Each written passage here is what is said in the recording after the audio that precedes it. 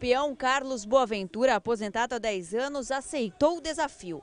Famoso por ser o único competidor que conseguiu parar em cima do boi bandido, vai enfrentar agora um touro temido da atualidade, o pesadelo. É um boi bem pulador, um boi difícil. Eu vou fazer o máximo que eu posso, né?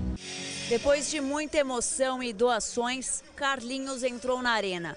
Mas a vitória foi do touro. O peão chegou a ser pisoteado. Deu touro, né? Não deu pra mim, mas o importante é poder contribuir com o hospital, né? O desafio do bem fechou o último dia de provas na Arena de Barretos.